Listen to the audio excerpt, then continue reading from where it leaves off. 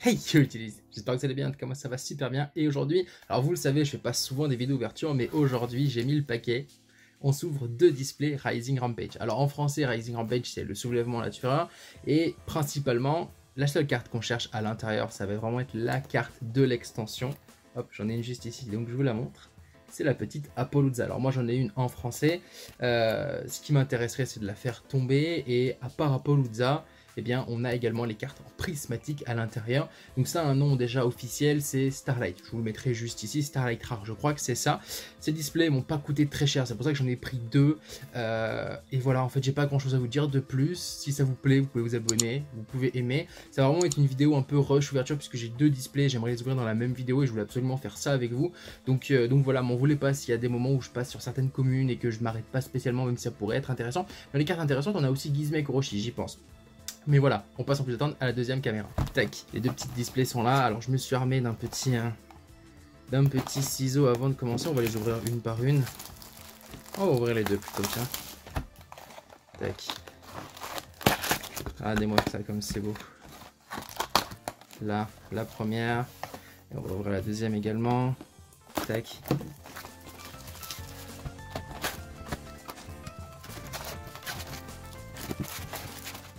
Là, ça fait quand même pas mal de boosters à ouvrir. Honnêtement, j'aimerais beaucoup faire tomber au moins une Apollousa, ça me ferait plaisir. Après, c'est vrai que Gizmek peut être intéressant. Il y a également Sortez-moi de là qui est plutôt cool. Et on a la Link Marine 16, la Link 3, je crois, qui cote un petit peu également. Après, je vous avoue que l'objectif, c'est. Alors, ça serait dans le meilleur des mondes, ça serait de faire tomber une, Apollousa. Et euh, bah, c'est vrai qu'une prismatique, mais bon, le prismatique, c'est un peu le rêve de tout le monde qui ouvre euh, toutes ces éditions-là. Ok. Donc la première display, on aura eu une rare et une super. Première, premier booster, pardon. Tac. Ça c'est plutôt une bonne carte hein, parce que ça se, ça se dans pas mal de cartes. Et puis bah, du Dream Mirror c'est plutôt cool également. Ça c'était une très très bonne carte d'ailleurs pour la sneak peek. Un peu lent malheureusement pour notre format compétitif. Ça reste un piège. Même si les pièges peuvent revenir du Marine 16, du Fortune Lady et une super.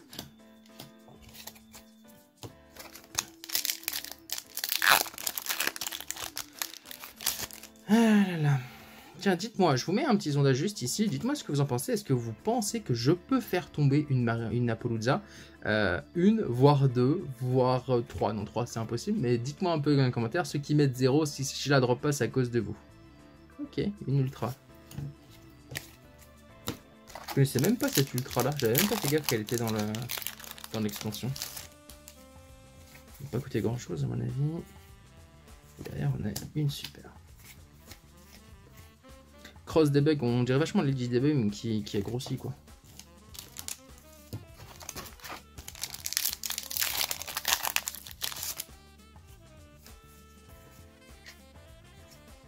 Ok, encore une super. Je vous ai pas montré la fin. Je pense que mon deck Dream Mirror, du coup, je vais pouvoir le finir, j'espère.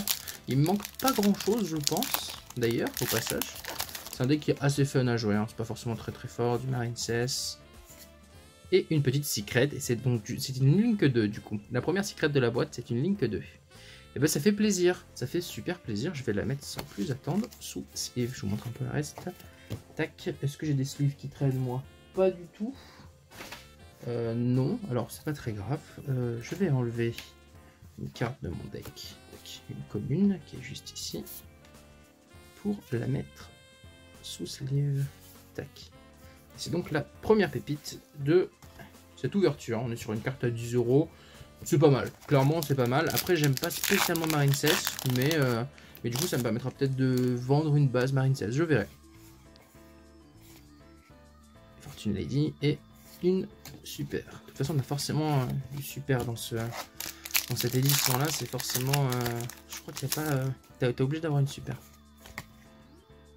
Ok. Et on a une deuxième fois le moine tennis.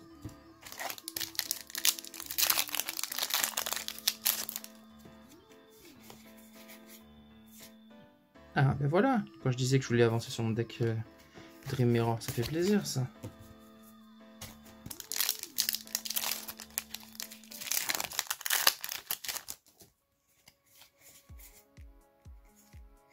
Et ben, on avance encore sur le Dream Mirror. Donc on a fait tomber une secret. Si la display est correcte, normalement on n'a que encore une seule secret à faire tomber. Donc en espérant que ce soit une belle secret. C'est une très très bonne carte. Très bonne carte que je joue dans mon deck Toon d'ailleurs, pour le retrouver à la deck profile, juste ici. Autant qu'il est sur le terrain, tu peux pas taper euh, simplement eh bien, les monstres, euh, enfin tu peux pas détruire le terrain. Et encore une super.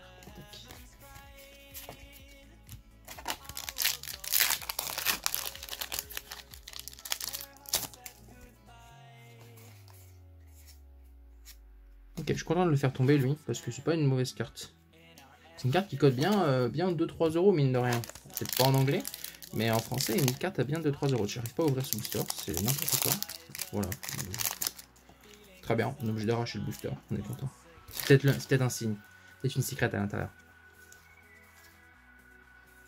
Et pas du tout. C'est Hurlement Blanc, une pire carte de l'édition, je pense.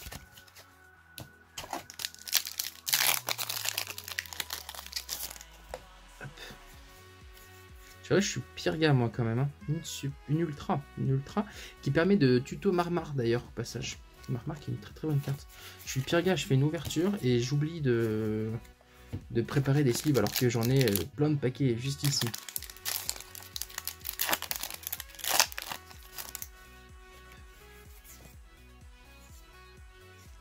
Ça, c'était la carte... Euh, c'était la carte promo de la sneak peek, je crois. Si tout va bien, cette vidéo sortira mercredi. D'ailleurs, là, on est lundi au moment où je la recorde. Ça vous donne un peu un élément... Euh, je vous posterai sûrement des photos sur les réseaux sociaux. Le petit berserker de Tenny. Et derrière, on a du Simorg.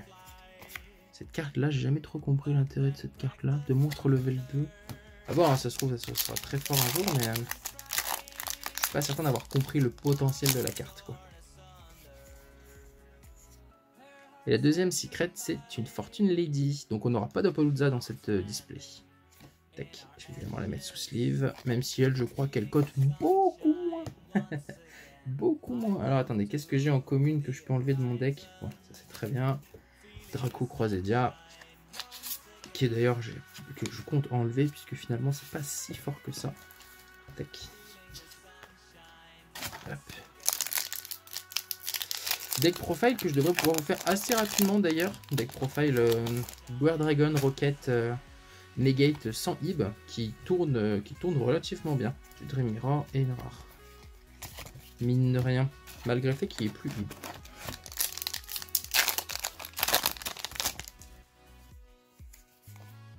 Ah, bah ça on aurait bien voulu l'avoir en prismatique quoi.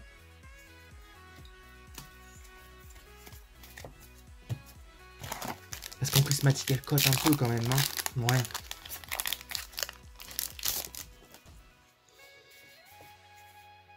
Oh bah tiens, on en parle, on l'a fait tomber une deuxième fois. J'ai presque le même booster quoi.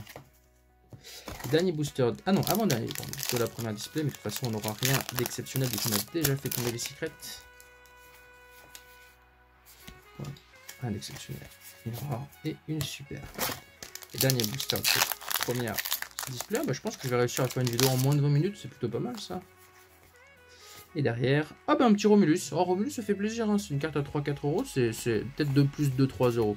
Mais, euh, mais c'est plutôt pas mal. Ok, donc on se fait un petit récap. Euh, alors je vous passe pas les rares, sous les rares euh, c'est pas non plus exceptionnel.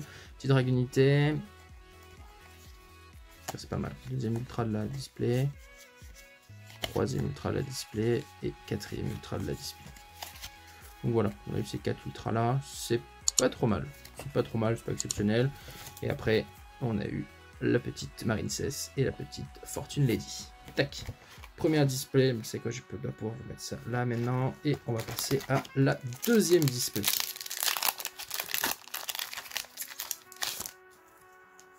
Alors. Tac. Là, si je pouvais récupérer un playset de Hadara, ça m'arrangerait fort Adara. Un peu le space, t'as rien, ça reste du tennis. Pour moi, tennis un deck qui a du potentiel quand même. Hein. Le jour où ils vont recevoir du support, ça va faire très mal quoi. Ok, premier ultra. Gros support, hein, parce que ils ont déjà du support, c'est déjà un deck qui est fort, mais à mon avis, ils peuvent devenir euh, encore plus fort euh, éventuellement un jour. Du Dream Mirror, cool. Deck Miroir des rêves que je trouve absolument magnifique. Vraiment, les artworks sont, sont super jolis.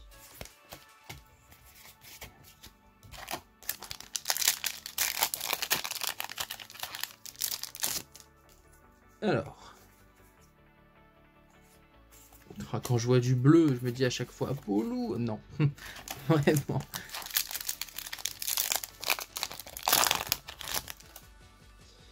Alors, voilà. Ok. Ça, c'est une bonne carte également. Ah, mais je suis con. Oui, je suis con. Voilà. je, suis con. Je sais pas pourquoi. J'étais parti dans l'idée que c'était euh, la bonne carte de, de la display.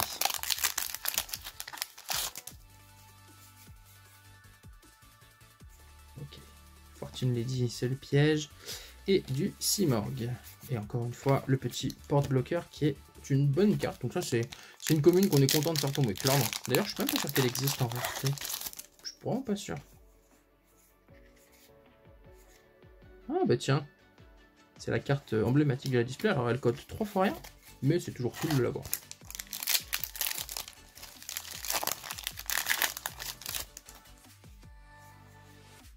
On n'a pas fait tomber une seule secrète pour l'instant. J'ai peur. J'ai même pas. Euh, à part Apollousa, Gizmek. J'ai même pas trop ce qu'il y a. On a ouvert plus de la moitié de la display, hein, c'est fou ça.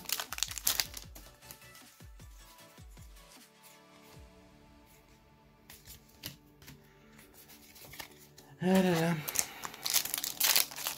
On a ouvert plus de la moitié de la display, on a toujours pas fait tomber une seule secrète. C'est chaud.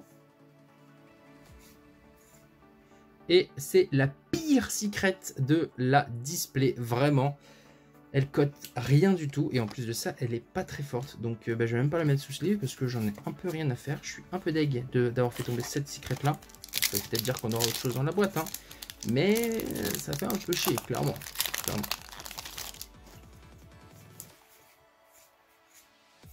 Dream. Bon, je pense vraiment que... Euh, pense vraiment que si on a eu la pire secrète, c'est qu'on va la meilleure. On va voir. Ça serait terrible. Vic Viper.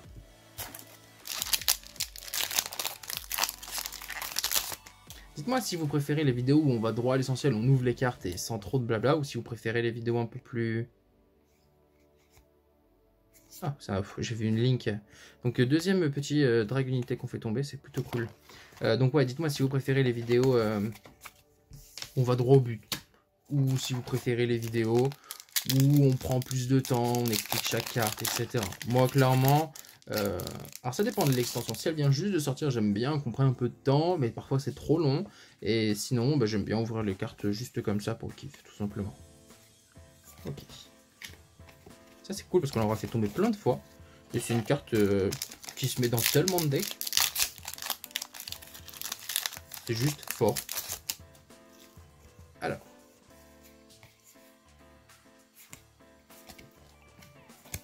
Bon, par contre, euh, on n'a plus que 6, 7 boosters à ouvrir. On a fait tomber qu'une seule euh, secret. Hein.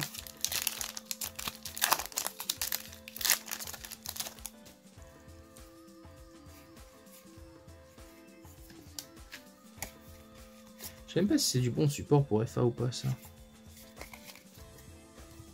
FA c'est un deck sympa aussi, c'était fort. Euh sur Dualist dans toute une époque.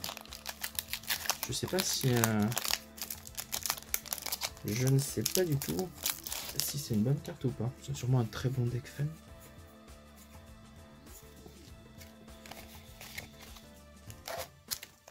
En vrai, si, si la dernière secret est dans le dernier booster, ça, fera un bon suspense. Alors euh, ça vous tient en haleine jusqu'au bout et tout pour le watch time, c'est nickel.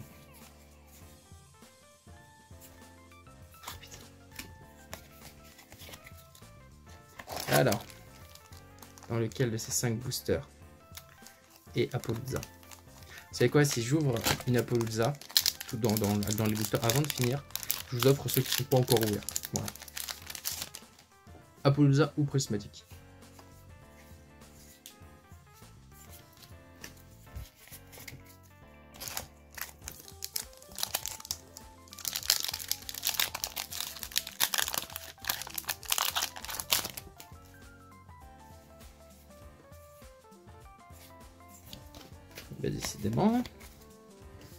Sur une display buggée et, et j'avais qu'une seule secret dans cette display ça serait, ça serait ouf.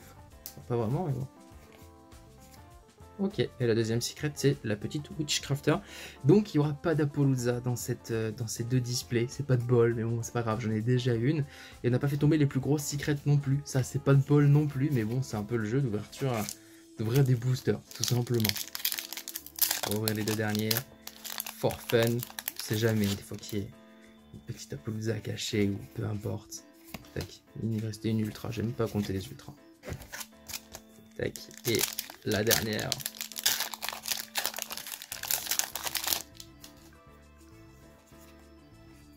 Ça, c'est pas trop mal, mine de rien. Bon, et bon, on va se faire un petit récap hein, de tout ça. Bon, on a un gros paquet de communes, mais ça, on s'en fout un petit peu, clairement. On a eu, je vais quand même les mettre sous sleeve, même si le Capsukill, euh, bon, j'ai un peu les boules quand même, parce que c'est pas une excellente carte. Tac, je vais récupérer le de ces deux cartes là.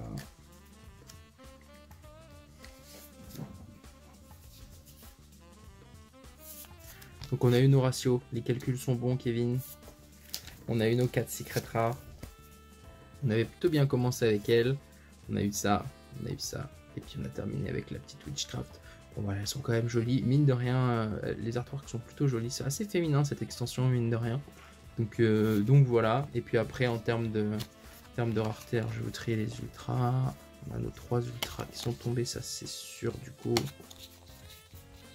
4 ultras? 4 ultras? Mais quoi? J'ai bugué C'est 4 ultras dans un display? Ah oui, c'est 4 ultras. Donc voilà les petites Dreamira. On a eu le petit Borreloge, euh, Dragonity, le petit Tenny. Puis après, on a eu pas mal de support Tenny, pas mal de support Simorg, toutes ces petites choses-là qui, euh, eh bien, qui allaient dans l'extension, tout simplement. Voilà, cette petite vidéo est maintenant terminée. J'espère que ça vous a plu. C'est vrai, ça se voit sur mon visage, je suis un peu déçu parce que bah, j'aurais aimé, et tout comme vous, je suis certain à la caméra, faire tomber une petite Apollouza. C'était pas le cas, malheureusement, mais c'est aussi le risque d'acheter des cartes euh, scellées et non pas des cartes à l'unité. C'est aussi un kiff d'ouvrir ça, et puis bah, c'est trop cool de pouvoir le faire avec vous. Si ça vous a plu, le pouce et l'abonnement, c'est gratuit, ça fait super plaisir. Sur ce, prenez soin de vous, faites-nous un monde duel et collection de cartes, et surtout à bientôt les potes. Allez, ciao